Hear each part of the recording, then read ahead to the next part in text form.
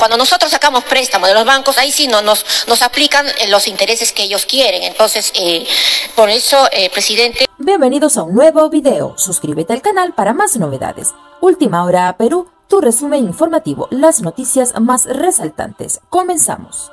presidente, yo estoy muy preocupado por este dictamen porque creo que en el Parlamento estamos sistemáticamente hipotecando el futuro, presidente. Ya hemos aprobado aquí por una abrumadora mayoría el retiro de las cuatro UITs, presidente, que va a dejar finalmente al más del 90% de los afiliados al sistema de pensiones peruanos con cero soles en sus cuentas para cuando tengan que jubilarse, presidente. Y ahora estamos permitiendo también al mismo tiempo disponer de los fondos que sirven como un seguro de desempleo, presidente, cuando aquel ciudadano o ciudadana pierde el empleo, presidente. En un contexto de recesión económica, la movilidad laboral es muchísimo más difícil, presidente. ¿Y quién va a responder por esa persona cuando finalmente disponga de su CTS y al día siguiente no tenga qué hacer cuando quede desempleado en, una circunstancia que puede ser evidentemente fortuita, presidente, más aún en un contexto de recesión económica en el que las cosas precisamente están muy complicadas? Entonces yo creo, presidente, que tenemos que ser en este Parlamento muy responsables.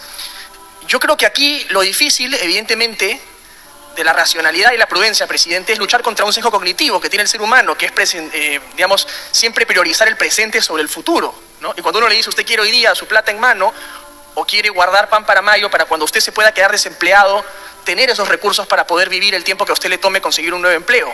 ¿no? La gente te va a decir, prefiero plata en mano el día de hoy, presidente. Pero yo estoy convencido que en este Congreso tenemos que ser responsables, presidente. No podemos seguir hipotecando el futuro por populismo y por demagogia. Y aunque eso no sea popular, presidente, alguien tiene que decirlo en este hemiciclo.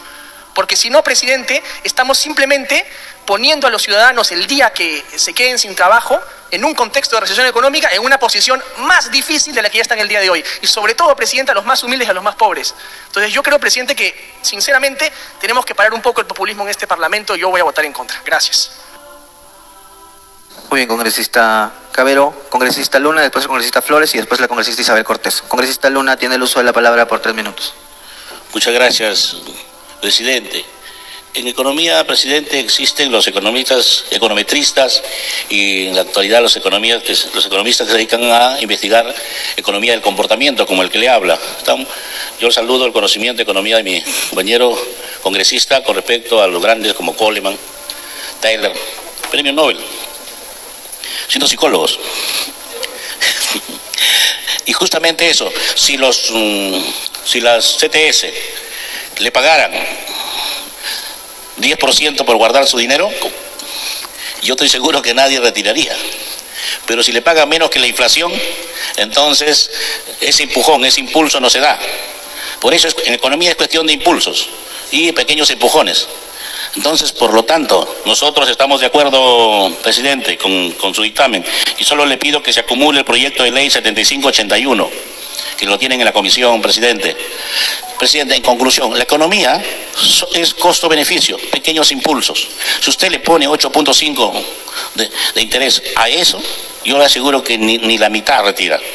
Pero si usted le deja a 3%, a 2%, cuando la inflación real, no la maquillada como ahora nos informan, nos dan informa, un, un eh, de 3% es maquillada y yo lo puedo demostrar que es maquillada porque realmente ya pasamos el 6% y la población lo siente.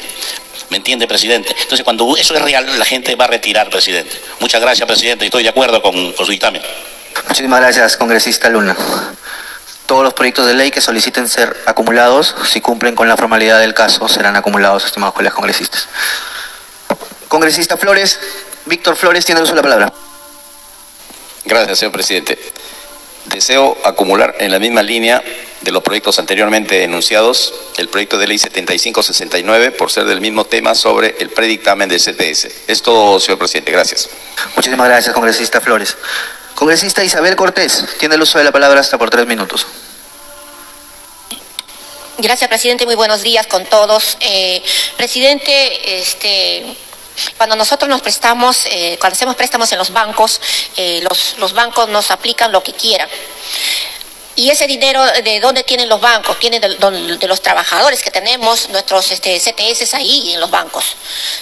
Como dijo mi colega Luna, de que si los bancos eh, nos pagaran el 10%, realmente nadie sacaría, pero cuando nosotros sacamos préstamos de los bancos, ahí sí no, nos, nos aplican eh, los intereses que ellos quieren. Entonces, eh, por eso, presidente, este, este, mi, apoyo total a este proyecto de ley, pero me hubiera gustado que, que yo también tengo un proyecto de ley que también está en, que venga economía, porque también se trata de la CTS, pero para los trabajadores que de la 276, que cuando se jubilan recién, recién le dan eh, su, su, le, entrega, le, hacen, le entrega su CTS y a veces eh, el, empleador no le ha depositado, no le, no, la, no, la, no le ha guardado nada de su plato CTS, incluso tienen que hacer demandas judiciales para que puedan este, eh, las entidades, el empleador entregar su CTS. Eso sucede en muchas municipalidades del país, presidente. Muchas gracias.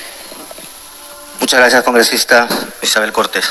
Congresista Cordero, tiene el uso de la palabra. Muchas gracias, señor presidente.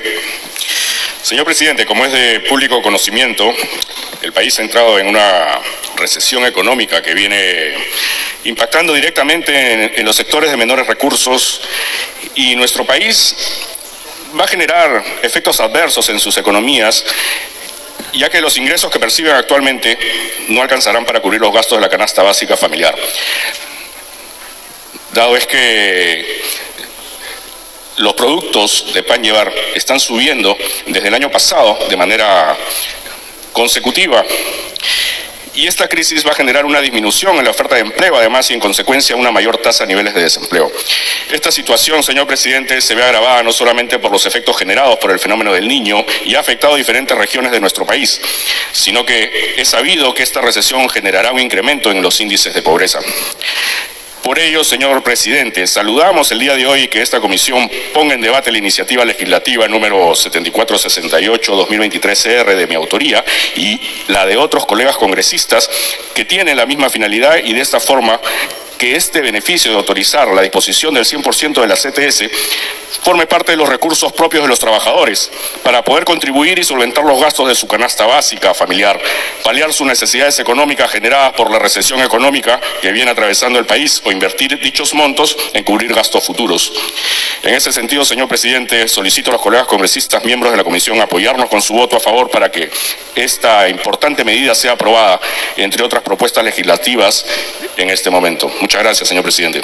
Creo que la Comisión de Economía está tomando la mejor decisión y está pensando en nuestros hermanos eh, que están en una situación crítica. Y hasta acá este resumen informativo. Te recuerdo que subimos contenido todos los días acerca de los temas más importantes del Perú. Como siempre te invito a que te suscribas al canal. No olvides activar la campanita de notificaciones para que seas el primero en enterarte. Recuerda que la información es poder. De antemano muchas gracias por tu atención y será hasta una próxima oportunidad.